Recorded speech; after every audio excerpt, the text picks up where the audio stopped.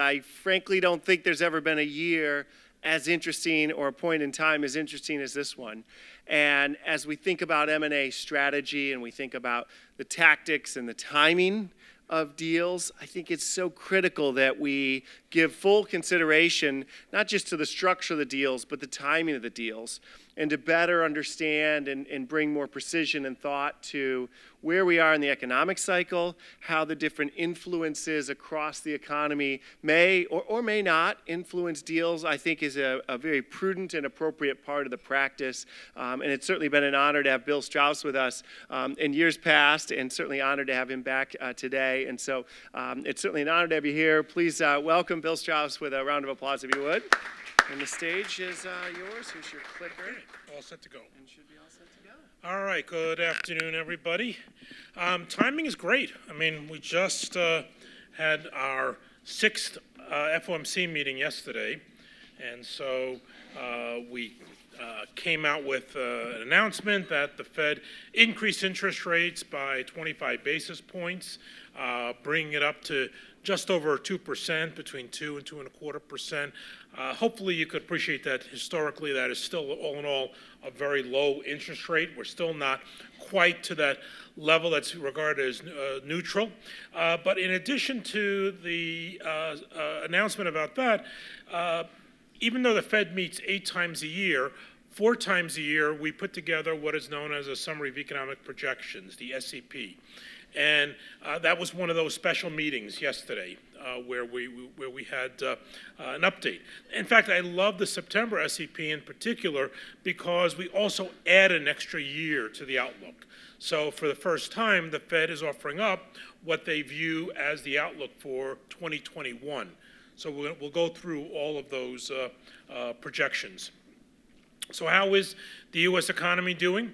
Well, we're in the second longest expansion in U.S. history. Uh, the longest expansion is actually presented up in this uh, chart as well. It's that period during the 1990s when the economy grew consecutively for 120 months. Uh, if this economy that we have continues to grow through the middle of next year, so if it's still growing in July, this will become the longest expansion in U.S. history since we're in the 10th year currently. Um, and I think there is a fairly good chance of that, in part because uh, when you think about the what causes an expansion to come to an end, it is certainly not that we die of old age or that we run out of steam. It is usually some kind of an event that causes, we call those negative economic shocks, that causes business activity and, and personal uh, consumption decisions to alter the way they would normally progress. Um, and in fact, the way we think about the economic growth for our economy is one where it grows at a roughly two percentage point uh, gain. Uh, two, one eight to two percent is what we think of as trend growth, driven by labor force growth of less than one percent and productivity growth of around one to one and a quarter percent. So you add those two together and you get this trend-like performance of two percent, and that's what we should achieve year in and year out. In fact, over the course of this expansion now, uh, in, in, its 10th year, economic growth has averaged 2.3%. Uh, so just slightly over that amount, which is kind of a tortoise-like performance. It's been moderate and steady. Uh, but one of the advantages of that is that, well, when you think about what can put your economy at risk, well, it could be that one particular industry kind of gets out of bounds, kind of goes a little bit crazy, like the housing market did during the last expansion. And when that corrected, of course, it took down uh, the financial sector with it, and we had a major recession. Um, so when you look around the real side of the economy, it's you don't see any particular sector that appears to be out of balance, or certainly one that's not too hot. Um, some are doing better than others. Manufacturing is doing well, but there's still slack there. Uh, the labor market as well looks to be, on, its, on some measurements, very tight with an unemployment rate that has been below 4% for now four months this year. Um, but still, we're adding a lot of workers. So to me, that is suggestive. And we're adding a lot more workers than underlying uh, contributions of new workers into the pool would suggest, suggesting to me that we still have some ability of growing that sector. Uh, the economy on a year-over-year basis, we don't have uh, third quarter yet, and we won't even have third quarter GDP until the end of October. That's one of the problems with GDP is there's quite a lag involved in it. So we only have data up through June and that's the second quarter data that's presented up here. Where we and in fact we got an update on it this morning. That's that's uh, these these charts have not been updated with that, but it was unchanged. 4.2 percent uh, was the growth rate in the uh, second quarter, uh, which sounds really impressive. And you can see we've had numbers like that before. Uh, but keep in mind, it also came off of a very modest 2.2% growth in the first quarter. So averaging them out, the first half of the year has come in at 3.2%, not very different from the 2.9% that we have averaged over the past year. This is clearly uh, substantially better than that trend-like growth. So it, this is a strong economy that we are operating in at this point. So the president has talked about, you know, having a 3% economy, and is that possible? Absolutely. We've seen it before. Look at going back to the 90s or the early part of, of the noughts. Uh, we saw growth, the blue line there, that was up in the 3 4% range. The question of is it sustainable? That's a whole other question. And there you have to think about are you doing anything to change the underlying structure of trend growth? Are we having labor force that is going to be able to grow faster? Well, given the fact that labor force is driven by population growth, which takes a very long time to alter, because even if we encourage a lot of people to start having kids right now, it's still going to take you 16 months and, oh, sorry, 16 years and nine months to make that worker. So that won't impact the economy until the 2030s. The other part of it is immigration. And we certainly have a lot of people who would love to come work here with the kind of skills we look for. I just think this administration is not going to be too favorable to increasing that allotment. Uh, so therefore, in order to get a 3% economy, you've got to practically double productivity growth. And who wouldn't want to do things more effectively, more efficiently than we're currently doing? It's just a very high hurdle to achieve. It would require a heck of a lot more capital investment. It would be, require a heck of a lot more training of your workforce for the kind of skills that are needed into the future, which, by the way, is probably my number one concern for our economy, is that we're not doing as good a job at that as I think we would like to do. Um, so the point is, is that it's very hard to move the needle on that, and I think you're going to see that the FOMC kind of agrees with me uh, with regard to that. So. Um, while we don't have third quarter data yet, we do have a measurement, and I've shared this with you before, that talks about uh, how we're doing more recently. The National Activity Index, the, zero line there, that black line, is a line which suggests that the economy is growing near its trend rate of growth. This is higher frequency data, monthly data, and we have it up through August. So we have the two months out of the third quarter already reflected here. And as you can see, it has improved quite substantially. It has moved above zero. So if zero is trend, above zero is better than trend. So certainly picking up that surge of activity that we have seen most recently. But as you can see, it kind of has downshifted a bit as we have moved into the summer. Uh, and that would be, but still above zero. That would be suggestive of still a decent number but probably not replicating that kind of 4% number that we saw in the second quarter. But in terms of thinking about the business cycle, um, I, you know, I, the other advantage of this is it can give us kind of a sense of whether we're beginning to slip into a recession. Uh, and, and, and if we go below zero, it means the economy is underperforming what it's capable of doing. It doesn't mean a recession per se, but it means that maybe we're growing at 1% compared to the 2% that we should achieve. But if it gets down too low, typically, if you look at about a minus 0.7 to a minus 1.3, you can see that when our index, in particular the three month moving average, the blue line, has slipped into that range, it goes into that gray shaded area where activity now has gone negative and we see declines in economic activity, i.e., a recession. Uh, so the good news is we're not even close to that. We're still running well above that, and again, better than trend. So, what other signs of optimism are there? Well, certainly the stock market. Stock market is supposed to be this all-knowing, right? The efficient market theory, or University of Chicago afterwards, the efficient market theory, that talks about the fact that what's incorporated into the prices here is everything that people know about the future. Because when you're buying, as you all know, when, when you're buying an asset today, a stock today, eh, it's past is, is the past. It has nothing to do with what you're willing to pay for it today. It's all based upon what you think it will do for you in the future. So the very fact it's a very forward-looking indicator and it moving higher as it has continued to do is suggestive of an economy that continue to will continue to do quite well.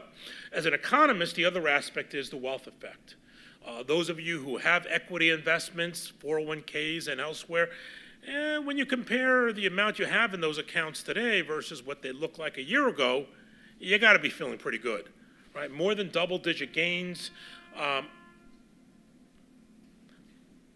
my, my boating friends out there. Uh, more than double digit gains uh, occur. And, and the way we think about that is it generally means that people will spend a small portion of that, 2 3% of what we call the wealth effect. So people feeling wealthier, they'll spend. So if your account went up by $10,000, you might take two, $300 and take the spouse out uh, for a nice dinner, nice steak dinner at one of the steakhouses here to celebrate. Uh, you're not going to be do like what the housing market happened, where uh, it went up by 50,000, and people thought, well, those are permanent gains. I'll take 45,000 out of it. Um, and, and of course, when it corrected itself, uh, it was a ma ma massive problem. People appreciate the fact that as fast as this went up, it could also quickly go down. Anybody here uh, would be surprised by a 20% correction in the stock market in the, over the next year? Yeah, not a single hand in the room is up. Uh, which again, is, if you had your hand up, I would tell you you probably shouldn't be in the market because that's just a risk that you take with uh, investments. So let's get to the forecasts. So the Fed will provide a forecast for key economic data, GDP, unemployment rates, two measurements of inflation, and what they see as their policy tool, the federal funds rate. And I will cover all five of those. The red diamonds up here are the median forecasts of the 16 members of the FOMC, the 12 presidents, and now the four governors that we have with the fact that we now have uh, the new vice chair as part of the Fed having just been confirmed by the US Senate. Um, so, um, uh, what you can see is that blue shaded area, that's the trend of uh, what the Fed regards as 1.8 to 2 percent, unchanged from their view of June. How has this forecast changed, in fact? Well, the GDP outlook for this year was, was edged up a bit. In June, the view was that it would be just under 3%. Now it's just over 3%. Um, substantially different? Maybe a little bit, but not much. I mean, just a tinge higher. Um, for next year, it moved up by a tenth of a percent to two and a half percent. So we're still looking at growth that is above trend by about half a percentage point. Uh, but you can see that it's slowing, you know. And so what can you ask what, what kind of goosed the economy to grow faster this year? I think you can't deny that the tax reform that we that went, we went with at the end of December uh, definitely has played a role to kind of spur things on. Um, certainly a major role. In addition, the regulatory environment has altered uh, business confidence and so forth. So we we got this faster growth, but. Um, it's a sugar high, especially with the tax reform aspect. And once that begins to wane, it's drive on the economy begins to settle down. I think that's what we're witnessing here. Uh, for 2020, you can see the Fed has growth coming in right around trend growth of around 2%. Uh, that's unchanged from their view that they had in June. And for the first time, they're offering uh, what, you, what they think about 2021. And it's a very similar trend-like growth, but towards the bottom end of trend. So that's kind of the view of the economy continuing to expand, although those growth rates moderating a bit. So risk of recession. You could ask some smart people, what do you think the risk of a recession is? Uh, so here is a survey of professional forecasters, and they are asked the question, what is the probability of having a recession over the coming quarter? What you can take note of, number one, is that the current measurement is low, but also importantly, it has moved lower. It's been moving lower, in fact, even before the election of 2016. It was already starting to move lower. And it has continued to move lower, and certainly having the economy growing faster has given people greater confidence that a recession is less likely. Why is that?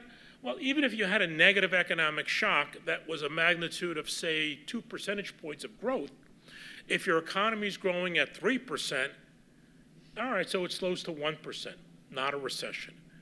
If your economy, though, was only growing at 1% and you get a 2% shock, now you got a minus 1 economy and you're in a recession. So the faster the economy is growing, the more resilient it is to any given level of shock. Uh, if you ask them, how about going out two quarters? The probability is a bit more elevated. That's to be expected more time, more bad things can happen. In fact, if you asked me what the probability of a recession over the next 10 years, I would say probably 98%, given the fact that the longest expansion has been 10 years, and we would be talking about almost a 20 year expansion. Highly unlikely, in my view, that something, that something, uh, that something bad would not occur over that period that could cause us to go into a recession. Uh, but I should have mentioned some of the other factors. Of uh, clearly, a, a, sector getting out of balance could lead to a recession. Uh, you could have, uh, you know, an incident like the terrorist attack that we had, a war like we had in '91, bad monetary policy that certainly the Fed tries to avoid, but not necessarily successfully all the time. Bad fiscal policy. Uh, some people, you know, would say maybe the tariff thing that's going on right now is not helpful to the economy's growth. Um, I think it's more of a nuisance at this point level, and I'll show some charts that would suggest uh, that we don't, it has not risen anywhere close to worrying about a recession. But nonetheless, you can see that a similar pattern, getting lower probability of, of recession.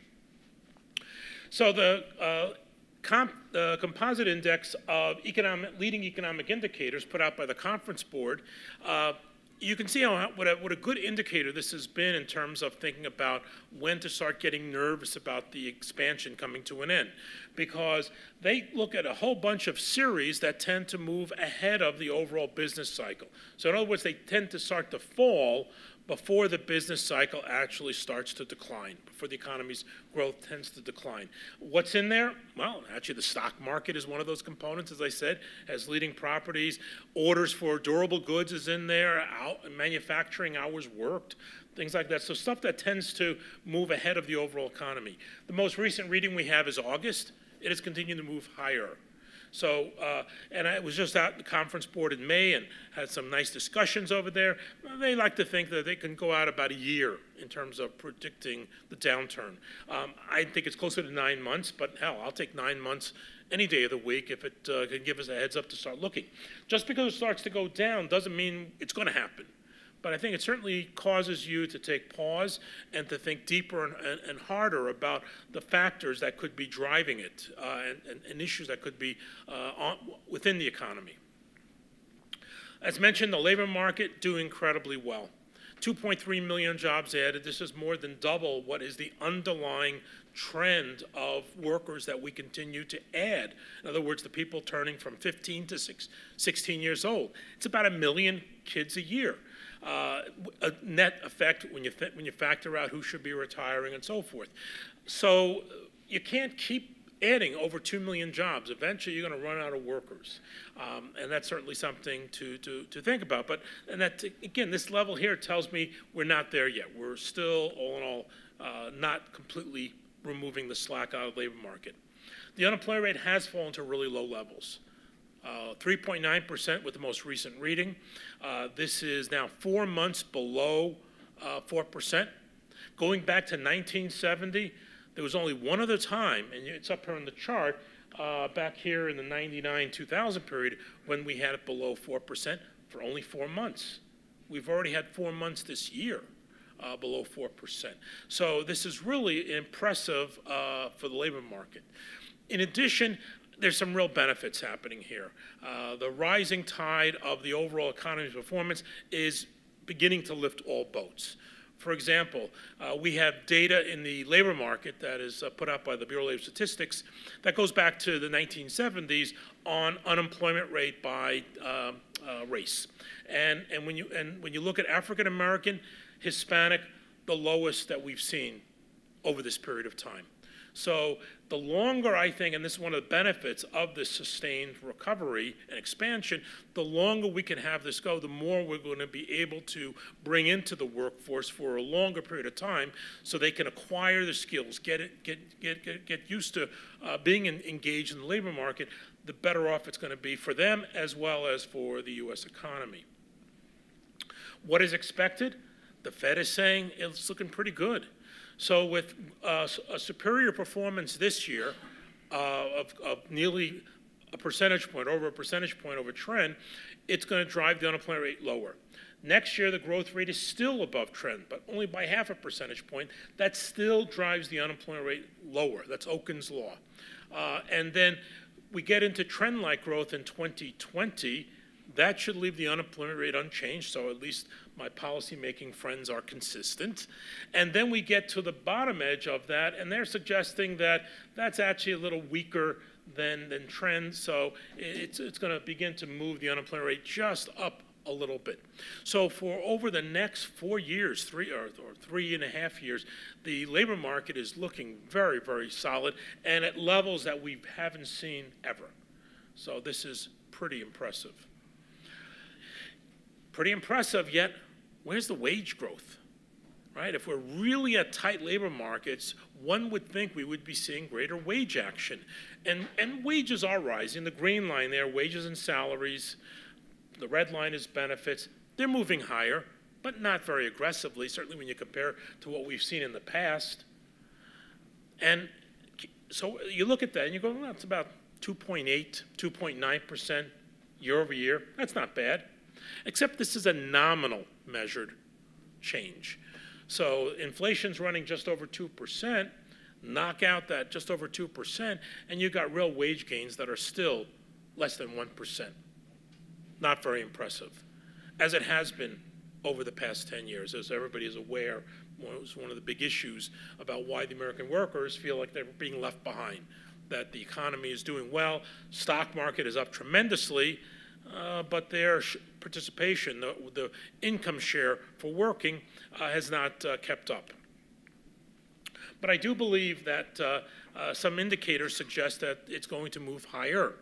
So here I'm taking a survey that is done by the National Federation of Independent Businesses. Uh, their chief economist, good friend of mine, Bill Dunkelberg, uh, asks his, his, uh, his members each month to answer a series of questions.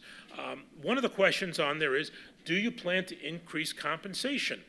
And if you, would, if you kind of move this by nine months, what you can see is that it lines up with what the employment cost index, that same green line here, presented, with a very nice lineup. 84% correlation between the two.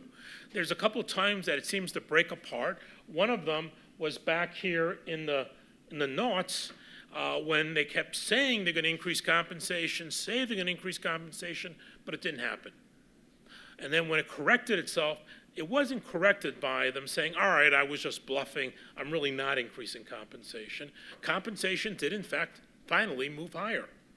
So we got a very similar situation currently where they're saying compensation's going higher much more than what has actually transpired here. And I suspect when it corrects, it's going to correct in a very similar way as we've seen in the past. So uh, I think there's a good chance that we're going to see uh, wages and salaries continue to move higher and perhaps get up to that 4% range uh, sooner rather than later. So the question comes in, why hasn't wages done better? Well, I think you got to kind of think about what we have come out of following the Great Recession. During the Great Recession, unemployment rates uh, skyrocketed up to 10%. Nearly 9 million workers, 8.7 million workers lost their jobs. So I just talked about the fact that we add about a million, a little over a million jobs or workers a year. So we all of a sudden released into the pool of available workers eight years or so worth of workers. So businesses, when they were just trying to decide, well, do I hire workers to meet growing, growing demand or do I buy a piece of machinery? Well, workers were plentiful and they were, as we saw, really inexpensive and much safer for expanding your production. Because if we happen to go into a recession, and there was all this talk following the financial crisis, eh, are we going to double dip? All these other issues about, you know, concerns around the world. Uh, businesses would say, I'm much safer hiring workers rather than buying a piece of equipment. Because if we go into a recession, our labor laws are not like Europe. You can get rid of those workers. And you're done with the cost. Whereas if you bought a piece of machinery, and ever increasingly that machinery is uh, like a computer, has to be paid back more quickly, even in the industrial sector, uh, it's a big mistake. The timing matters much more. So that was, and, and the other aspect is the economy was only growing barely over trend, barely over 2%. And so you just hire a lot of workers, and that's what really took place. So um, productivity suffered over this period of time. Uh, so here's productivity growth, and it's like it's been below 1% for, it looks like there, you know, last four, four years or so. But not really, because this is a five-year moving average. So it's really been below 1% for most of this expansion, the past nine years. Uh, and, and, and this is, as we all understand, workers ultimately get paid what they contribute in terms of the bottom line, i.e., productivity. So if productivity has suffered, they're not going to be able to get those kind of wage gains. So why has productivity suffered? Um, well, I think in part it was this dearth of investment you can see that over the course of the expansion, the rate of capital investment just plunged to the point that in 2016, it actually went negative. We actually saw a reduction in our capital stock during an expansion. Now, we know capital stock falls during a downturn. Why buy a piece of new machinery when you got plenty of it sitting idle? But during an expansion, when you're producing more and the economy is growing, we actually had a reduction. It got to that point where, you know, unemployment rates had fallen below 5%, wages were beginning to move higher. Over the last several years, the biggest factor has been can't find qualified workers, can't find qualified workers. That firms are finally running into a bit of a wall, and that kind of was suggestive that, you know, maybe I have to bite the bullet and actually make some investment. So I was actually already optimistic for an investment cycle even before the current administration came in. Uh, but certainly the tax reform, uh, as well as this more positive view by the business community, uh, has definitely spurred on probably some additional activity uh, over the uh, over the past couple of years. So we are adding capital, and I think that will help our our bottom line certainly with regard to uh, productivity you can see the fact that productivity growth, uh, now we're looking at it on a year-over-year basis, not a five-year moving average, uh, has come back. And it's back up to levels that we think of as more normal. In fact, the second quarter, if you looked at it just quarter two versus quarter one, expanded by nearly 3%. Uh, that's a really healthy gain for productivity. In fact, the gain was so healthy that when you looked at unit labor costs, in other words, how much did it cost to have labor, because of that productivity, it actually cost businesses less. So I think that is kind of the important aspect to think about is, is capital spending and is productivity going to be able to perform well? Because if wages are rising, it doesn't necessarily mean that inflation is just around the corner because if workers are, say, contributing 3%, 4% more in terms of productivity, you could afford to give them, you know, not just a 2% inflation index, but something on top of that, maybe a 2 or 3% productivity bump. So you can give them a 4 or 5% increase in wages and not impact your bottom line because uh, they're delivering it in terms of that. So uh, this, as this would be just one example of that one quarter. Uh, you can look at profits as well. Profits continue to perform well, certainly suggesting that the increasing wages that, are, that have started to occur does not appear to be impacting the bottom line for profitability.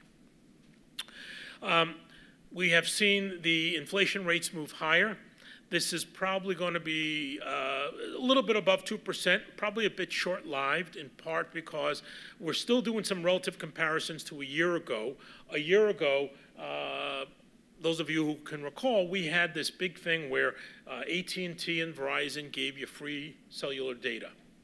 Um, so that was a material enough to actually lower the inflation rate last year from over 2% to around 1.5%.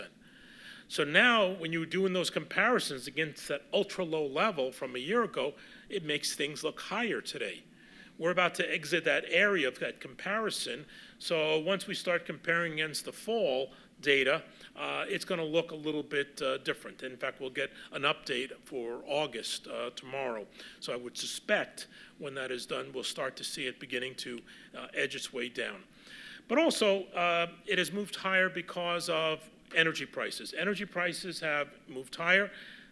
That's something to, you know, kind of accept. Why is that happening? We're doing a lot better. Our, our economic growth is, again, a full, full percentage point above trend. That means we're moving a lot more goods, a lot more people being hired. Uh, there's going to be need for a lot more energy usage. So prices have moved up accordingly. But it's still a bargain. Uh, here is the energy uh, consumption by consumers. This is for you know not just filling up their vehicles, but paying their electric bill, their heating bill. A little over four cents out of every dollar spent. But it's important to keep in mind, relative to its historical average, it has averaged over the past 57 years something closer to a little over six cents out of every dollar spent. The red bars are the decade averages. The current decade we are in is the lowest decade over the last uh, 60 years, basically. Um, and where we are currently is even substantially below that decade average that we're in. Quite the bargain. I've got some charts to really illustrate that, um, how, how inexpensive fuel, fuel is. Um, removing food and energy prices, the core rate of inflation, right at 2%. Um, what is the Fed thinking? Well, the Fed is basically saying with the uh, little sugar high economy growth that we have currently that is only temporary, it kind of adjusts back lower we, we are not going to see inflationary pressures really build up. So I think, again, that story of the wage pressure and the wage story is probably going to be kept in check, I think, in part by productivity. So they see, as far as going all the way out to 2021, a pretty flat inflation story. And by the way, uh, Blue Chip has a very similar story. They don't go out as far, they're only out to next year, but they have basically unchanged inflation pace from this year and to next year. Um, moving food and energy prices, the Fed is, is also seeing basically flat inflation. So uh, nothing to, to worry about there. So I hate to put up a chart like this. You'll get copies of these slides, um, but uh, uh, it brings up the issue. All right, so you're telling me that uh, you know the economy is, seems to be well balanced. Most sectors are not out of line, uh, and, and inflation therefore shouldn't be much of an issue. But what about the rest of the world? Is there some other aspect of the world, some of the part of the world, which is going too hot? Is China driving their economy very strong, bidding up commodity prices, and that all of a sudden we're going to have to be uh, paying a lot more for the goods that we import or for the goods that we need as a raw material. So the Blue Chip Forecast Group looks around the world and makes forecasts. And what you can tell from looking at that is basically the U.S. economy is the strongest economy in the world right now. And the outlook for most economies around the world, those first three sets of columns there, when you go through the detail, is that their economies are growing, and in fact, many of them are slowing growth next year, much like the U.S., but uh, nobody is showing any sign of, of impressive growth around the world. And you can see that by looking at this next set of columns, which is the inflation measurements, which are all in all being kept in check. So there appears to be little concern about importing inflation from outside of the United States. And, and I think, you know, when you, when you talk about the tariff story that's going on, number one, I don't believe that uh, you can win a trade war. Uh, I think uh, uh, tariffs and, you know, hurt your economy, and what you're basically saying with a tariff is I can hurt my economy more than you can hurt yours. Um, and so when they retaliate, they're actually hurting their economy. Um, and so uh, I think that what part of what's going on here is when you do have the strongest economy, uh, I think you can weather the pain perhaps a bit better than economy that might be trying to get business, economy that might be struggling. So we'll just have to watch. It's one of the more fluid aspects of thinking about uh, the outlook, uh, but uh, and a lot of uncertainty. Uh, the manufacturing sector is doing very well. It's that industrial capital spend that I was just alluding to that's helping drive this along. Capacity utilization is moving higher, still not up to the level of roughly 79 to 80 percent that we would think of as more fully utilizing our, our, our uh, manufacturing side. Uh, to give you an example of how it's uh, driving uh, um, uh, employment, so manufacturing represents uh, about 9% of U.S. employment. We've had 2.3 million workers added over the past year, so its share should be if it keeps its relative share, it should be about 200,000 jobs for manufacturing. Well, they've added uh, 254,000 jobs over the past year. So more than 10% gain of, more than 10% of the gain has been manufacturing. So clearly punching above its weight in terms of uh, adding workers. So that is uh, a benefit for that capital investment cycle. Another way of illustrating how strong the manufacturing sector has been is to look at the purchasing managers' uh, uh, results from around the world. So this is something that IHS Markit Group puts together. Uh, I was in Frankfurt and uh, Zurich in February. Big discussion at the meetings that we held over there was all about the uh, synchronicity that we saw of growth around the world. And you can see that between November and February, that top line was green, above trend performance for the globe manufacturing. So things were going well all around the world. But as we moved into 2018, you can see that that has shifted and the numbers have fallen for the globe. The US and Canada, the, the next two lines there, remain solidly, solidly green all year long. Um, the uh, Europe is kind of in the middle, and what had been very solidly green throughout Europe has become more trend performance. And in fact, uh, for Italy, which is that one yellow number uh, most recently, uh, is flat. So there has been definitely some weakening in the European economy. The next set of grouping here is, India, is, is Asia, and that had been doing okay, not as strong, but definitely all the green has disappeared and some yellow have appeared. So things have definitely kind of uh, softened a bit. The yellow is actually China. Um, and uh, so again, the point is, is that the U.S. and Canada, throwing that in there, appear to have the strongest economies in the world. The vehicle sector is doing well, doing well just under 1% gain. That's not going to last. Um, in part, uh, it was the fact that sales were really weak last year. Uh, and then I think we talked about it last year how Hurricane Harvey and Irma uh, came in and wiped out about half a million to a million vehicles. And I talked about that we're going to see a replacement cycle. Well, it happened and then some. Uh, vehicle sales surged in the end of the year and remained strong for several months, but temporarily, it came back down. So we're about to start doing some comparisons in the fall against some really high elevated post-hurricane replacement demand. Uh, and uh, Florence is not going to offset some of this. And there'll probably be some replacement from Hurricane Florence, but it wasn't anywhere as severe as what we saw for uh, Hurricane Harvey and Irma. But, you know, one way of illustrating how low energy prices has altered the mix of this industry, you know, here we have passenger cars and light trucks, and light trucks are pickups, sport utility vehicles, and crossover vehicles, which one could possibly argue is more car-like, but nonetheless, it's categorized in light truck market because of the capacity. Um, but what you can see is a clear preference for uh, more truck-like products, where passenger car sales this year are down over 13% for the first eight months of the year, uh, and light truck sales are up nearly 9% for the first uh, eight months of the year. Um, so we have seen this, this very significant shift. Uh, and of course, this has led companies like Ford Motor Company to pronounce the fact that, uh, you know, they're not going to make cars anymore. They're getting rid of all of their cars with the exception of the Mustang and one other vehicle, off of a line that had probably about, a, about 10 different products. So this is a major pullback by a company, which is basically saying this is not a temporary issue. this is probably going to be with us for quite a while.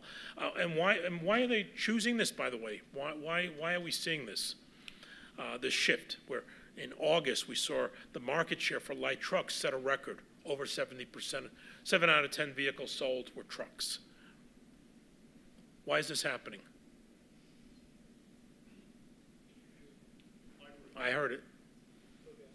Low gas prices, just as I showed you on the chart before, lowest that we that we've seen, and people want the room. When you ask people how important different factors are in their choice of a product, the fact of, of gasoline and miles per gallon is not even in the top 10 issues that they that they are concerned about. It's ride, it's comfort, it's the technology, not even in the top 10 of what people are focused on.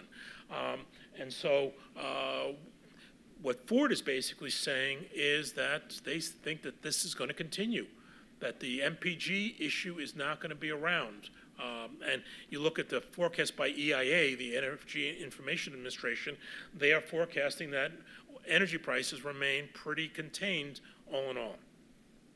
Oh, I love. I should have done this little little thing. Uh, so, how many of you are people who care about the environment? Wow, nice.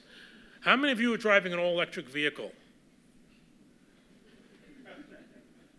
What? Oh, I, I, expected to find at least a couple of Tesla people in this audience. Nobody? How about a hybrid? Oh, you're kidding me. One? One individual with a hybrid? Oh, you guys are you guys are you guys are not telling me the truth here. Uh, you said you care. The reality is is that all of you are the blue line. Uh, traditional internal combustion engine, gasoline, and diesel powered. Um, the green line at the bottom is everything else. Uh, and by the top line there was 100%. So, you know, that includes, the green line includes the electric, the hybrids, the plug-in hybrids, the uh, uh, fuel cell, the natural gas power, the, you know, uh, solar, wind, gravity if you put it on a hill. Um, now, maybe I'm kind of misleading you with the old scale issue, lying with statistics. So let me put the alternative vehicles on their own scale. And you can see that with the introduction of the Prius, we saw some gains that occurred in the 15, uh, 18 years ago. Uh, and they can, and kind of, you know, suffer during the, during the downturn when, when fuel prices were bouncing all over the place. But then, you know, 2014, fuel prices, went, or uh, petroleum prices went up to $107 a gallon. Um, we saw uh, gasoline prices up in the four to five dollar range, uh, and you know people were buying these. Then all of a sudden, gasoline prices collapsed in 2014, uh, and you can see what happened to the demand for these products. It too fell precipitously, um, and and it's it's moved its way back up, but still. 96 plus percent of the vehicles sold in August were the traditional vehicles. Uh, when you think about the quarter of a billion vehicles as the park, you know, and you're only adding here, you know, a couple hundred thousand vehicles, it's going to take a long time before some of this stuff comes to weigh in the economy. So Blue Chip is expecting, in part because of that comparison that's going to start, we're going to be looking at a, just a slight downtick in the auto sector this year and a little bit more next year although I would still say profitable for the auto industry. But this is fascinating. In an economy which is growing 50% faster than trend this year and growing non trivially better than trend next year, vehicle sales actually are moving lower. Very suggestive of an industry that is not uh, basically beating themselves up to try to sell and grab market share, that they're actually enjoying making a profit and they're keeping themselves well behaved. Uh, I never thought in my career, after seeing what went through in the 80s, 90s, and up until 2007, and all the way through 2009 with the bankruptcy of General Motors and Chrysler, I never thought that I would see a market so well uh, behaved. Uh, some other things, the Purchasing Managers Index is, is well above uh, uh, uh, high levels. So certainly suggestive that, in fact, you'd have to go back to 2004 uh, to see levels of this magnitude. So again, the industrial sector doing well. Uh, Blue Chip is expecting above trend performance this year, a little bit softer next year as the economy's growth softens, but still all in all quite decent. The housing industry continues to pay the penalty for uh, the last, uh, the last uh, Great Recession, and that their blue chip is expecting uh, less than 1.3 million housing starts this year, a little over 1.3 million housing starts next year, still below the 1.4 to 1.5 million that is often thought of as more of a normal year. So let me close off on the financial side. Um, and one of the factors is um, that I, I love this indicator. So this is the credit spread, difference between two corporate issuers of bonds, uh, AAA rated companies, junk bonds, high yield. Um, and, and the reason I like this is that, you know, there's a lot of stuff that happens in the economy that it's hard to put your, you know, head around, you know, whether it's the issues surrounding market volatility that came back into the market in February, whether it's the impeachment or the, the Russian collusion, uh, whether it's the tariffs, uh, whether it's, you know, whatever you could uh, imagine. Um, does that put the economy at risk for a recession? So this is kind of a big picture, recession or not. So risk on, risk off for recession. You can see that uh, leading up to the financial crisis, this was already moving higher. Why?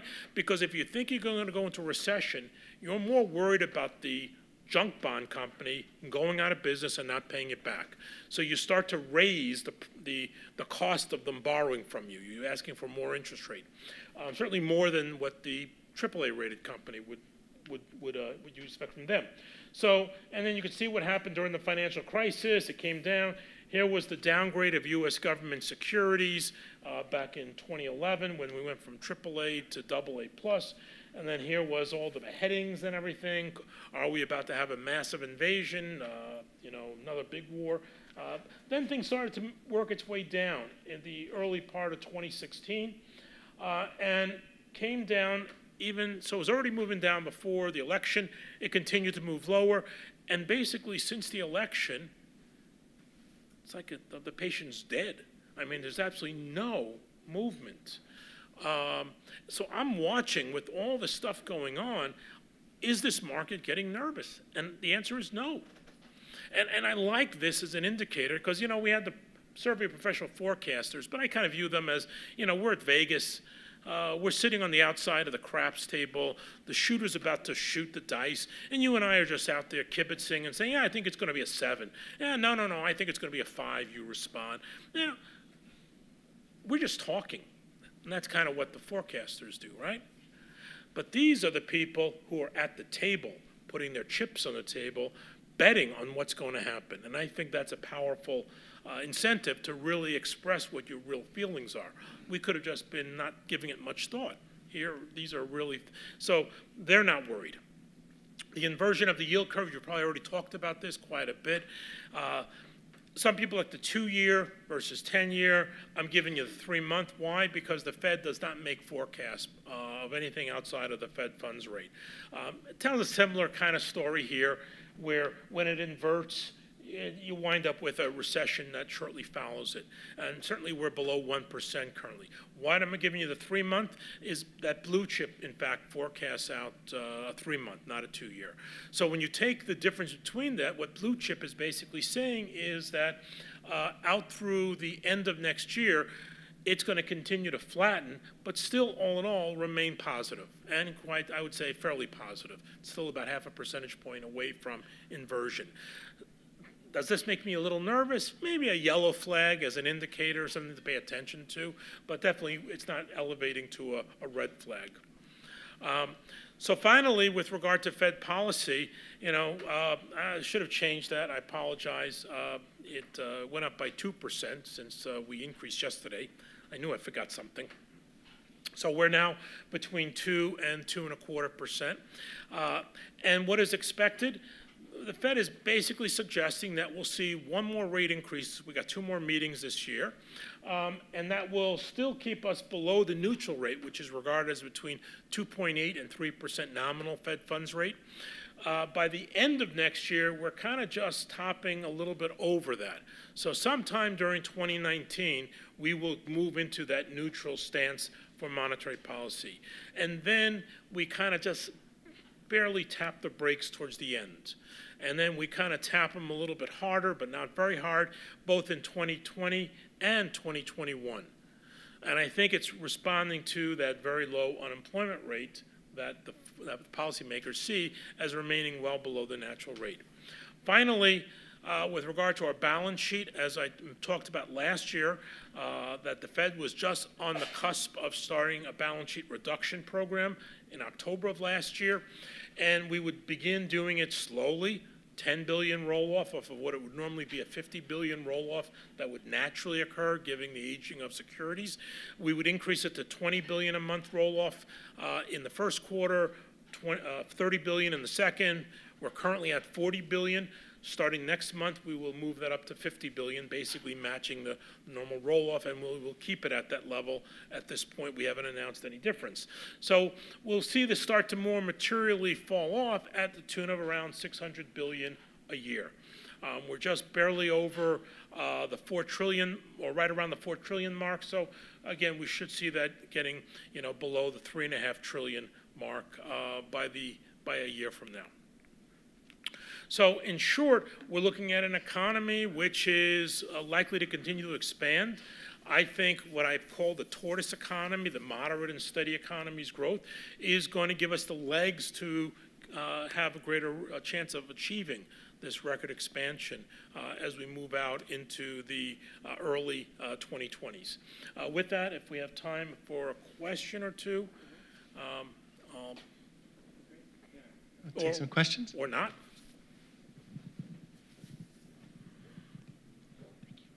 You could advise the White House, presumably you'd have to go on Fox News, but uh, advise them on economic policy, what they should be really thinking about doing over the next couple of years.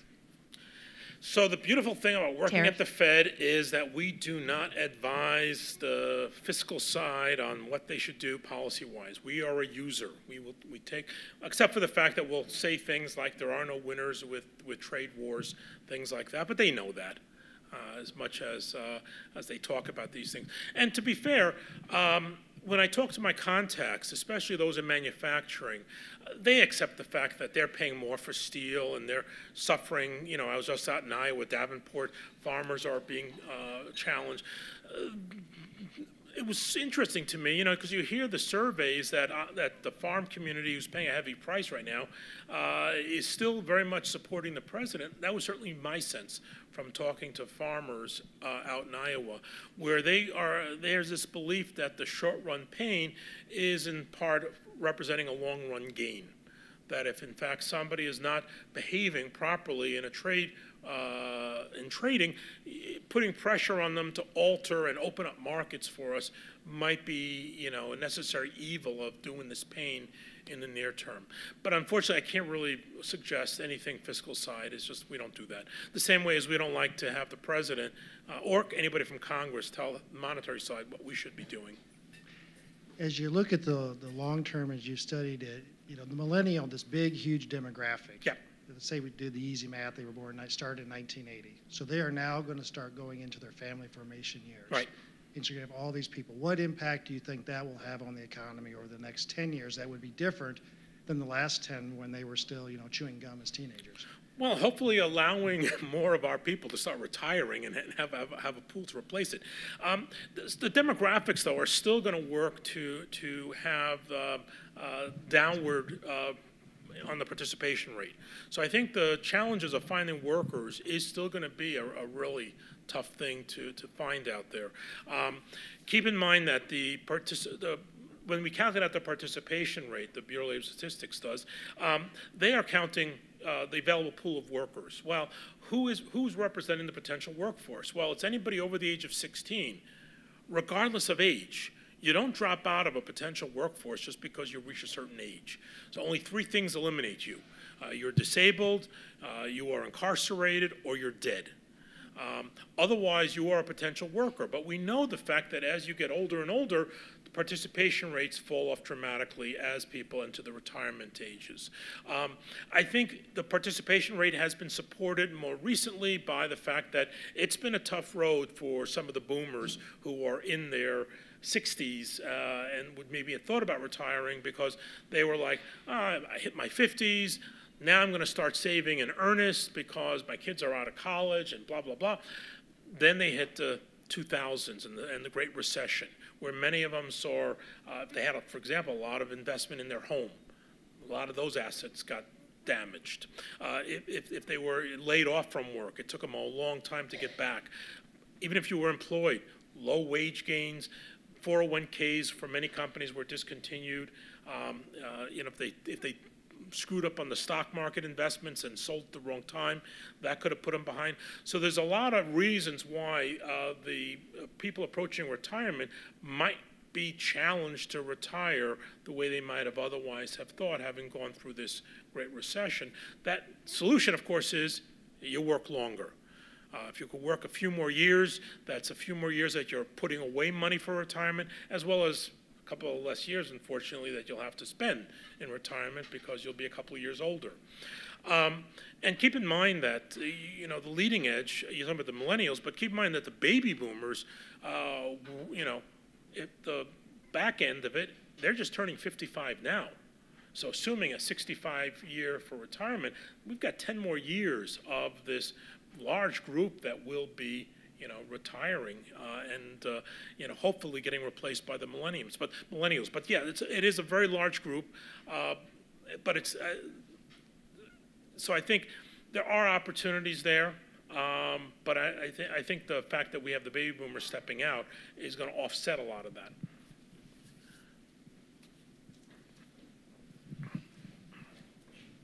Uh, Given your, your credit spread chart, is there an argument to be made that that's artificially kind of deflated right now, given the, the supply-demand characteristics of how much wealth has been created and where those funds need to go in those asset classes? Explain a little bit further. Maybe I'm not. So given that there, given there's a lot of wealth out there Yeah. that's having to be put in some of the higher yielding kind of asset classes, right? And so from a supply demand perspective, it's, you're, you're going to eat something that might give you a different profile than what you're accustomed to. So the okay, risk now- is, yeah, now- so the risk so- is somewhat hidden. Right, right. And, and, I, and I, you know, so what you're in essence, uh, uh, great point. Maybe. Um, so, the, so the point is, have we forced people to take more risk just to chase yield? Uh, you, you know, and you hear about the fact that you know retirees who actually had to go back into the labor force because you know they were banking on getting a four percent you know bond to cover them, you know, government bond to cover them into the retirement. Those interest rates came down to practically nothing, and they realized they were eating into their principal, and they needed to go back to work to kind of offset some of that. Um, and therefore, you know, maybe some retirees started to chase and take more risk, put money into the equity markets much more than they typically should uh, on, a, on a risk weight basis. Could that be part of what's going on here? Possibly. And that's all the reason why, you know, uh, as much as, uh, you know, President Trump yesterday said he likes low interest rates, uh, was, by the way, all presidents like low interest rates. Um, uh, but the, the strengthening economy is justifying the Fed moving up those interest rates. The faster we go to neutral, because when we hit neutral, I'm taking my wife out for a wonderful dinner because it has been too far and too long below normal. Uh, and I think it's going to be a success for us when we get that up to a neutral stance uh, next year. When we get to that level, hopefully we're going to start seeing some of these interest rates adjust to allow uh, certain demographic groups, in particular those people who are approaching retirement or in retirement, to be able to get back to being able to take a less risk uh, weighted uh, portfolio in order to achieve their, their goals. And so, you know, I think that part of it is yes, there, there is this excess amount that's out there, and that could be playing some role in this possibly. Okay, I think we can sneak in one more question if there's one. Okay, one more. This way. I don't know if this question will even make sense, but I'm just curious, in any of the slides, if, if there is an overlay in terms of like policy, tax policy, whether it's corporate tax or individual tax, if you see any um, trend, if, if, you, if you would see a trend. Like if you, the housing market slide, for example, you know, there were changes in the tax, tax code last year. Is that why we're, we would see a dip? Or is it too complicated? It, well, it's a factor. I mean, there's no doubt about it. The, the, the change in the tax law uh, made home ownership less attractive um, than, it- than it previously was. But I think that the uh, biggest factor that has been kind of weighing down on the, on the housing market is a complete alteration in the view of housing as an asset. And I think we can't deny the fact that the story that we had been told since World War II, uh, that home prices only go up, was clearly not true. Uh, and people bought into that, that it's a very safe investment. And actually, it was a good thing from the standpoint that most Americans are not very good savers, but at least if they bought a house, paid it off, you know, they would have something when they got close to retirement, perhaps better than what they otherwise would have done. Uh, although we had, and, and, and then actually that still probably would have been okay, except for all of the home equity loans that started to crop up and make it very easy for people to strip out that equity and turn what could have been a 1980s vintage mortgage, where it would have been, you know, a loan to value of 20% or something. Uh, it, they all of a sudden were able to borrow off of that, and when those, you know, markets corrected, all of a sudden they they had a vintage loan that was more akin to something issued in 2004 and 2005. Um, so I think the kids who are now, keep in mind now, we've had 10 years of kids entering the workforce over this period of time. They saw what happened to, if not their own parents, perhaps their parents, but certainly relatives they know, friends, uh, parents, uh, and they realized that uh, house was really not as good of an asset as people were led to believe. So I think there's got to be some kind of a, of a shock uh, going through a bit of a war in housing uh, that, that, that probably has impacted many of those kids as they saw people see the repossessions and, and, and uh, people being kicked out of homes and so forth. So I, I think that's part of it. And then add to it some of the psychology of millennials uh, with regard to they don't, and we're seeing in autos as well. They don't want to own vehicles as much as previous generations. Many of them don't even have licenses, and they do seem to be the type that want to share are much better off doing an Uber uh, and spending their money taking trips uh, rather than actual owning a product. And that could very well be the way they view home ownership as well. Um, and we've seen the home ownership rate come down substantially. It has been moving back up a little bit, but still remains lower than when this whole thing started, uh, even before the financial crisis. So thank you very much.